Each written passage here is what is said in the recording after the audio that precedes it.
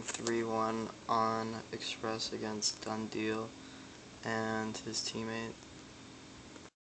Teammate lagged out, his teammate just rage quit.